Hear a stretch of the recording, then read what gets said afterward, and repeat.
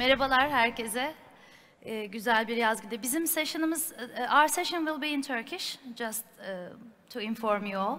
And welcome you all to Istanbul. Uh, my name is Ayşegül Şensoy, I will continue in Turkish. Uh, bu güzel sıcak yaz gününde uh, bizi bir araya topladığı için önce uh, EAK Dijital'e çok teşekkür ederiz. Uh, ben Ayşegül Şensoy, XYZ Teknoloji firmasından, aynı zamanda SOS DAO'nun kurucusuyum. Bugün burada Başak'la bizi bir araya getiren de İstanbul Blockchain Women e, adlı organizasyonun kurucularından olmamız. Yeah. Let me do a little bit introduction in English. Uh, hello everyone. My name is Başak Burcu. Uh, I'm in crypto since 2017.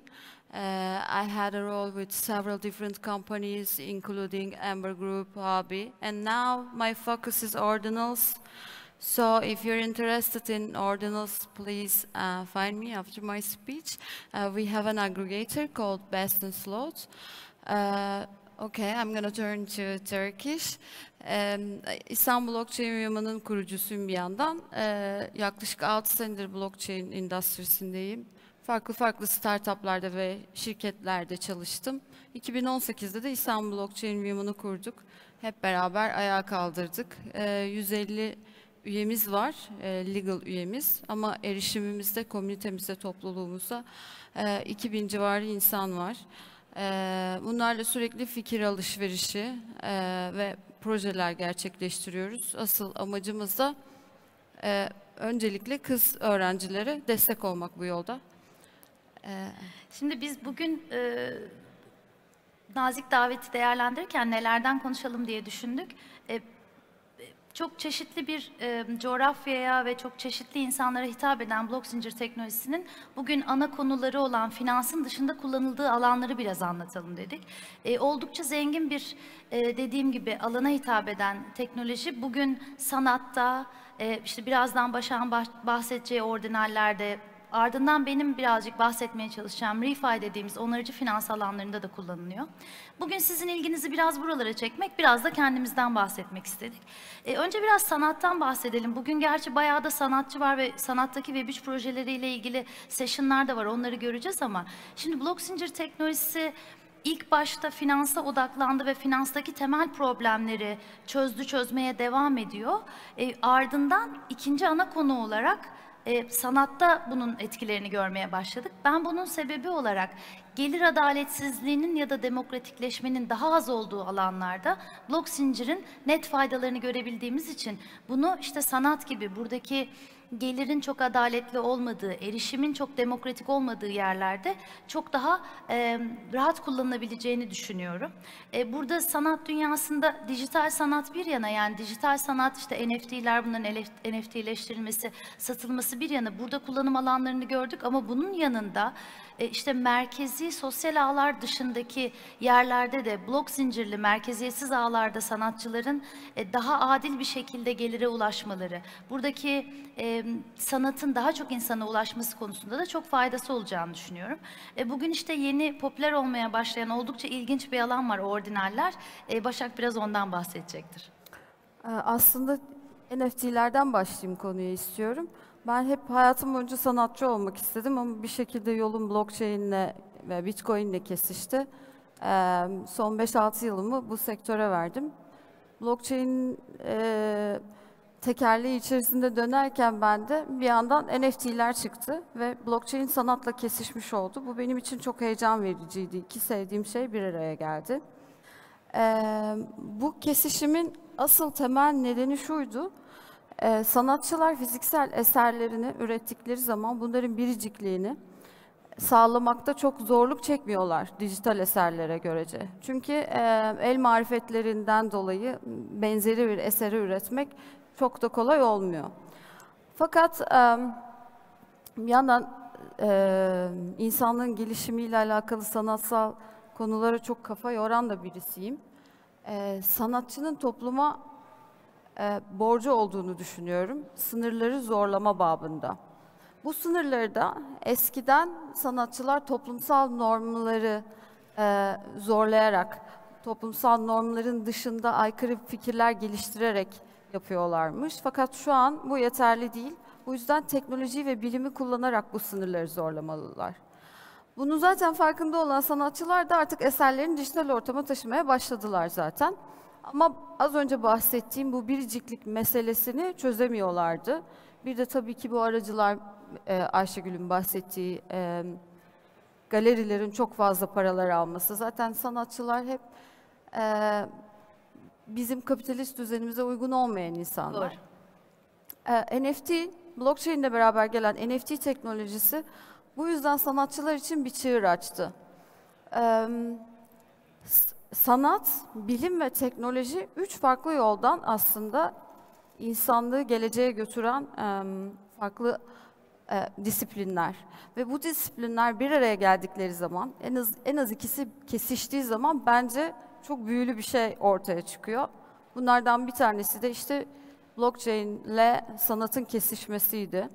Yani toksik NFT marketindeki hani fiyatların düşüp çıkmasını bir kenara koyuyorum. Buradan çok üzülen ve bundan sıkılan e, bu yüzden sanatı e, sanatını NFT'ler üzerinde icra etmeyi bırakan bir sürü sanatçı oldu. Bunu bir kenara bırakıyorum ama aslında mantık olarak gerçekten çığır açan bir şey sağlamış oldu blockchain teknolojisi bizlere. E, tabii bu heyecanla ben e, İstanbul Blockchain Women Derneği adıyla ben, benim öncülüğümde bir e, NFT sergisi e, yaptık. E, 2022 Mart ayında. Ee, yine toplumsal kaygılardan bahsediyorduk. Sanatçının toplumsal değerlerin bir tık ötesine götürmesi, e, işte e, gender free e, yaklaşım gibi yaklaşımları farklı tool'larla dile getirmesi gerektiğini düşünüyorduk. NFT de bunun üzerine gelince hemen gender free temasıyla bir sergi yaptık. Türkiye'nin ikinci NFT sergisiydi. İlk tematik NFT sergisiydi. Ee, Burada şunu gördük hazırlanırken ve sergi süresince e, hem girişimciler geldiler hem teknolojiyi üreten developerlar hem de sanatçılar orada uyudular, parti yaptılar, zaman geçirdiler ve e, orası bir innovation hub'a dönüştü aslında. Ardından birkaç ay sonra aynı sinerjiyi devam ettirecek bir kamp yaptık. Bunu da e, Melody isminde bir arkadaşımla doğada e, Marmaris'te yine üç gün kapanarak 40 kişiyle yine girişimcisi, yatırımcısı, e, developer'ı, sanatçısı, farklı farklı öğrencisi e, bu şekilde bir community yaratarak her konuyu konuştuğumuz, felsefeyi de, sanatı da, teknolojiyi de konuştuğumuz üç günlük bir evente imza attık. Çok gurur duyduğum bir iş. Şimdi de orijinallere geliyorum. Ee, bizim biriciğimiz, e, göz ağrımız Bitcoin üzerinde sanat eserlerini artık depolamak mümkün. Ee, orijinal teori e, 2022'nin son ayında çıktı ama Şubat gibi, 2023 Şubat gibi artık markete e, inscription'lar çıkmaya başladı. 1 Ağustos tarihi itibariyle şu an markette 21 milyondan fazla orijinal inscription'ı var. E, bu çok büyük bir e, adaptasyon aslında. Yani önemli bir kilometre taşı hepimiz için. E, yine aynı şekilde orijinal marketinde de fiyatların çıkması, inmesi gibi toksik meseleler var. Ama beni heyecanlandıran gönül verdiğimiz, bu işe girdiğimiz Bitcoin üzerinde sanatçıların eserlerini depoluyor olabilmesi.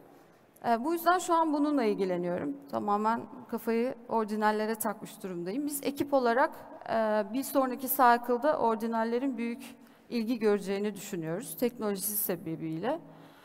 E, diğer bir yandan biz böyle dünya insanlık ileri gitsin derken bir yandan gezegeni mahvediyoruz tabii. Çok sevdiğim bir e, Japon kavramı var. Ikigai, yaptığın işin dünyaya da faydalı olmasını e, öğütlüyor. E, blockchain'in dünyaya faydalı olacak bir use case'i de var. Bu da ReFi. Ayşegül'ün de bu konuda çok güzel çalışmaları var deyip sözü sana bırakıyorum. Teşekkür ederim Başak. Çok güzel anlattın sanat ve blok zincir ilişkisini. Umuyorum ilerleyen zamanlarda e, daha çok, daha demokratik bir ortamda daha çok kullanımını görürüz. E, Şimdi sürdürülebilir finans refi tanımına geçmeden önce ben aslında e, XYZ firmasında geleneksel finansa hitap eden e, ürünler geliştiren bir ekiple beraberim ve uzun yıllardır buraya çalışıyoruz. Şimdi hepimizin de gözü burada. Türkiye pazarında bir regülasyon bekleniyor. Bu regülasyonun ardında geleneksel finans oyuncularının ve mass adoption'ın bunun ardından gelmesini bekliyoruz. Regülasyonu gelmesine doğru bir regülasyonu gelmesini destekleyen de bir taraftayım.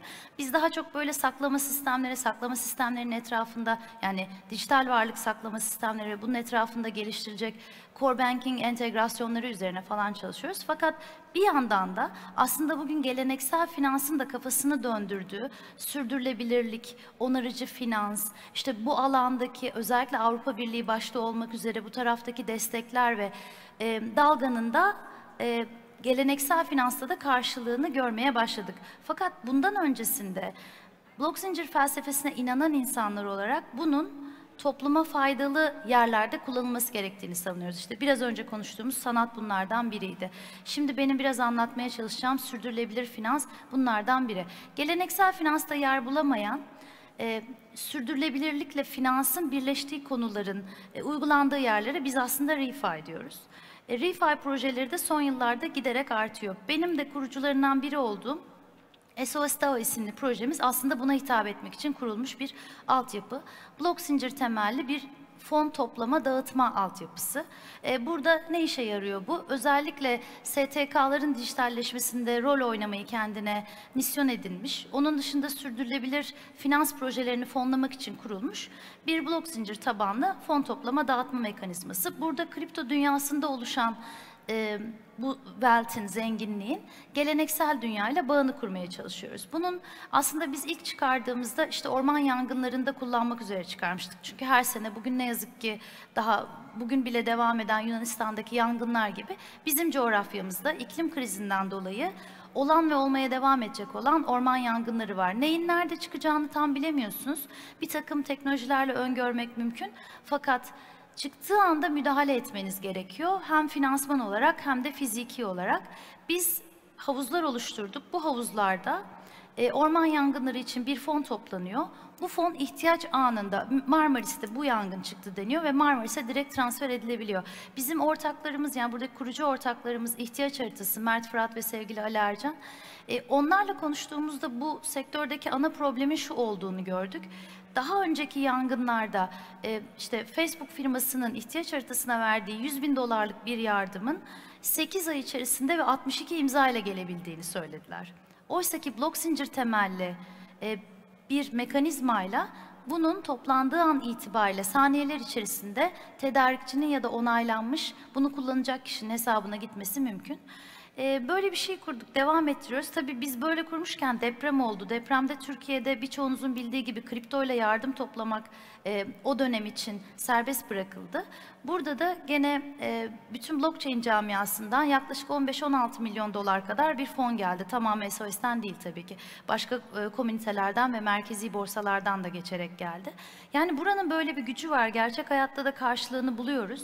E, o yüzden buranın giderek büyüyeceğini düşünüyorum. Aslında bunun ilk çıkış noktası da tabii daha ilk iktisadi teorilerde müştereklerin trajedyası deniyor. Yani herkesin olan kimsenin değildir'i savunan böyle büyük bir güruh var. Ardından ilk Nobel ödüllü kadın e, bilim insanı Ostrom'un bunun tam aksini iddia eden müştereklerin yönetimine yönelik bir e, önerisi var ve bu Nobel ödülü alıyor. Bunun ardından aslında e, daha kırsal, daha az e, kentin daha az uğradığı yerlerdeki ortak paydada beraber yönetilen komünlerin çok başarılı olduğu ve bunun iktisata uygulanabileceği söyleniyor. Biz bugün katılımcı ekonominin faydasından bahsediyoruz. E, birden fazla teknolojinin bir arada kullanıldığında ne kadar faydalı olabileceğinden bahsediyoruz. E, müştereklerin ortak yönetildiğinde de fayda sağlayabileceğini düşünüyoruz. Aslında ReFi tüm bunları bir çatı altında toplamayı hedefleyen yeni bir akım diyebiliriz. Evet, sen de bu alanda gerçekten ekibinizle beraber çok faydalı işler yaptınız. Ee, birinci elden ben bunları görme fırsatı buldum. İnşallah daha da iyiye götüreceğiz. Ee, hem dünyayı hem ülkemizi diyelim. Ee, bir taraftan da şeyden belki Türkiye ekosisteminden kısaca bizim durduğumuz yerden bahsedip e, daha sonra kapatabiliriz. E, Türkiye ekosisteminde işte blok zincir farkındalığı ve kripto kullanımın oldukça yaygın olduğunu hepimiz biliyoruz. Biz burada hem dernek hem de bulunduğumuz diğer e, oluşumlar içinde yapmaya çalıştığımız burada daha çok üreten taraf için e, insan çekmek, e, burada gençlerin, kadınların burada kendini sadece kadın diye de değil oldukça geniş kapsamlı düşünüyoruz. Burada daha çok insanın burada tüketen değil de üreten tarafta olmasını sağlamak. Bunun için de faaliyetlerimize devam ediyoruz. Ekosistem her şeydir. Hep bunu savunuyoruz. E, ve böyle hani dünyanın her yerinden, blok zincir dünyasından e, sizin gibi kıymetli misafirleri de İstanbul'da görmekten çok mutluluk duyuyoruz. İnşallah daha çok bir araya geliriz. Evet, çok teşekkürler. Teşekkür ederiz, sağ olun. Teşekkür-